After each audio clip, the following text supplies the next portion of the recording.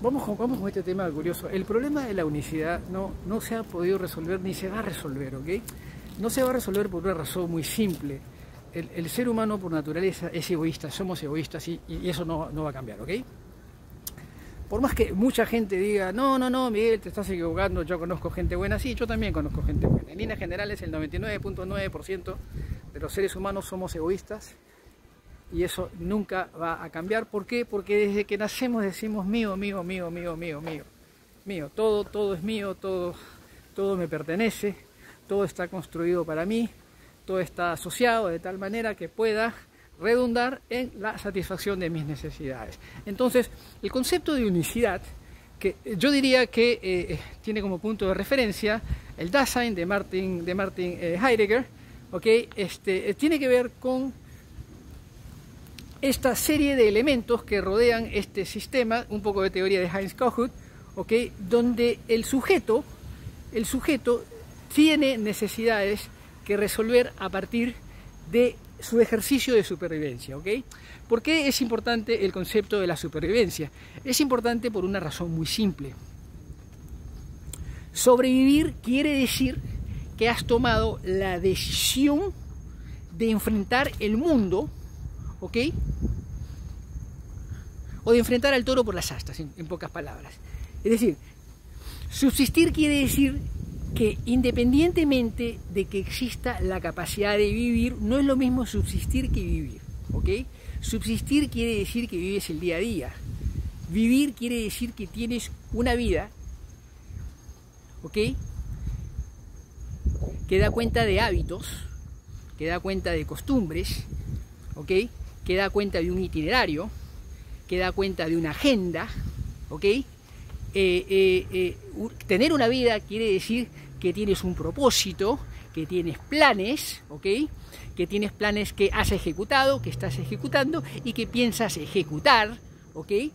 Vivir quiere decir que estás envuelto en una serie de relaciones positivas, edificantes, ¿ok? Que coadyuvan a tu realización personal, ¿ok? Vivir quiere decir que tus sueños eventualmente se convierten en realidad en la medida que contribuyan a la comunidad, ¿ok? No puedes tener sueños personales, ¿ok? Que satisfagan tus propias necesidades y que vayan en detrimento de la comunidad, ¿ok? Todos tus sueños tienen que ver con una retroalimentación hacia la comunidad. Lo que tú sueñas tiene que ser valorado, justificado, ¿ok? Y redimido por la comunidad en términos de beneficio. Ahora bien, entonces esa es una persona que está viviendo. La persona que vive tiene hobbies. Los hobbies son parte del ocio. El ocio era descrito, era descrito de manera este, recurrente y prolífica por los griegos, ¿ok? Siempre describieron todo el tema del ocio. Ahora bien, esta es la cuatro, cosa curiosa. Miren, esta este es, este es la, la mansión de Gloria Estefan. No la mansión, sino sus oficinas acá en South Beach. Cosa curiosa, un día le entregué un proyecto hace 11 años más o menos, Caramelito, nunca me respondió. Qué loca, qué loca que es la vida. Anyway, entonces, el tema de la unicidad, la unicidad es ese grito de defensa de decir, necesito vivir esta vida, necesito realizarme, ¿ok? Les he descrito dos conceptos, el concepto del que sobrevive y el concepto del que está viviendo. Sigo con este, ay Dios mío, sigo con este este sling, este estribillo. Pero bueno, anyway. Entonces, estas son cosas muy importantes que eh, eh, para tener en cuenta, ¿ok? Entonces, ¿qué sucede? ¿Dónde te encuentras tú? ¿Qué parte te corresponde? ¿En qué secuencia estás? ¿En qué fase estás? ¿Qué persigues? ¿Quién te persigue? ¿Dónde estás ubicado? ¿Dónde piensas ubicarte? ¿Con quiénes estás? ¿Con quién compartes esta necesidad de vivir o esta necesidad de subsistir? Ambas son finalmente necesidades. Son necesidades de un ser humano ¿okay? que está en capacidad no solamente de pensar, sino de evaluar el pensamiento. Evaluar el pensamiento quiere decir ¿ok? que tienes un pensamiento sesudo, ¿ok? Que no solamente interpreta el pensamiento, ¿ok? Sino que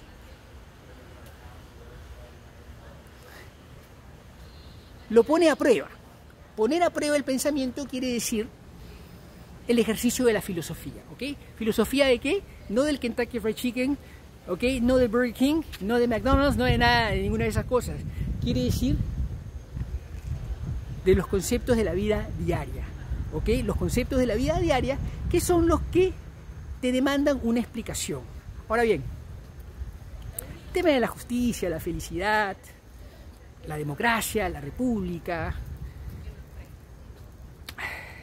la traición, la honestidad, eh, la existencia, el tema de, Dios, este, eh, son temas muy, muy, este, muy frecuentes en el tema de la filosofía. ¿okay? Ahora, la filosofía nos lleva a estos dos, a, a estos dos caminos, el de sobrevivir y el de subsistir. ¿okay? mejor dicho, el de sobrevivir, que, es, que no es otra cosa que subsistir, y el de vivir. ¿okay? Ahora bien, para vivir yo pienso que tienes que haber subsistido.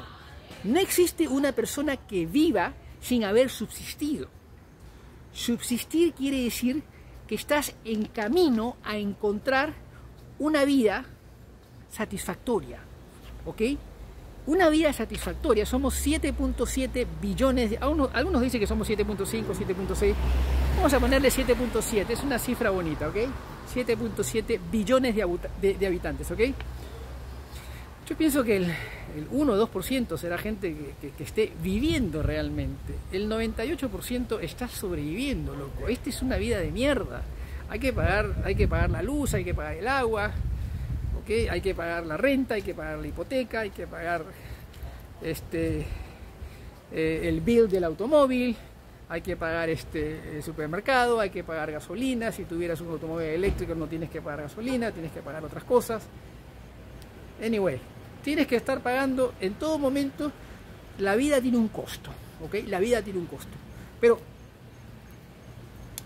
estos dos conceptos son muy importantes. En mi caso personal, este, yo vengo de una situación muy difícil familiar, la estoy viviendo actualmente, eh, eh, estoy en un proceso de convalecencia, ya me incorporo mañana al trabajo, este, tengo algunos temores, no, no les voy a mentir, este, pero a mí me tocó subsistir en algún momento. Y fue bonito, la peleé, la luché. Hoy me toca vivir.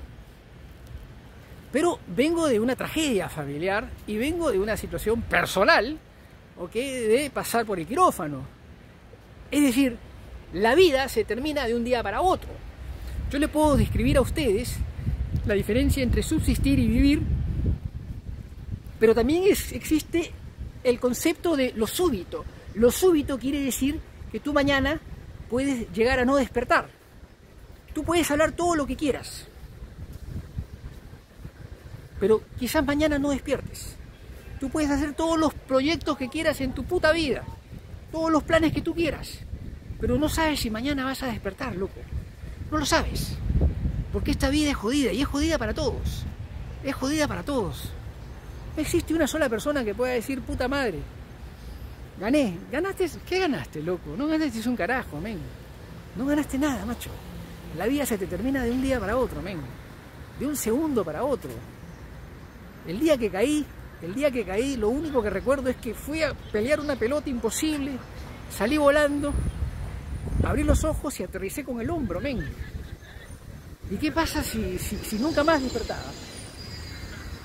Estaría enterrado, tendría eh, cinco semanas, cinco semanas y un poquito más de estar enterrado o cremado, cremado mejor dicho. Mi testamento dice que me tienen que cremar. La vida se acaba de un día para otro, loco. Por eso eh, eh, recojo el concepto judío-cristiano de Adonai, de un creador, ¿okay? yo creo en un creador, este, pero que nos da estas dos opciones son dos opciones que tienen que ver con episodios. Para mí tiene que ver con episodios de tu vida, ¿ok? El de la subsistencia y el de vivir. Vivir quiere decir haber pasado por la subsistencia. Ahora, ¿de vivir se puede regresar a subsistir? Sí, también. También existe ese retorno, ¿ok? Existe ese retorno, no se lo recomiendo a nadie. Tiene que ver con muy malas decisiones, ¿ok? Muy malas decisiones. decisiones espantosas, ¿ok? Pero bueno, también sucede. Entonces, en conclusión, puede ser que, que, yo tenga la suerte de poder disfrutar de todas estas cosas y decir, yo estoy vivo este, y, y tengo una vida medianamente ordenada. Y pasé la etapa de la subsistencia. Pero en realidad, en realidad, estamos todos jodidos, loco. Todos estamos jodidos. Aquí no se salva nadie, macho. Aquí no se salva nadie. Miren estas motitas, qué lindas. Aquí no se salva nadie. Aquí no se salva nadie. Estamos todos jodidos, men. Estamos todos jodidos. Mañana no te despiertas y se acabó todo. Todos los sueños que uno tiene y si no se cumplen, ¿qué mierda? Hay una agenda también, hay otra agenda. No se, no se acaba el mundo. No se acaba el mundo. Para nada. Este mundo continúa. Este mundo es una lucha de todos los días, loco. Se los dice un hijito de papá. Un hijito de papá, loco. Un hijito, así me decían, loco. Hijito de papá. hijito de papá me decían estos hijos de puta. Hijito de papá. ¿Qué hiciste de tu vida, loco? ¿Qué hiciste de tu vida? Puta madre, ¿qué tal concha, hijito de papá? ¿Y qué hiciste de tu vida, men? Una rascada de huevos. Una rascada de huevos. Una rascada de huevos.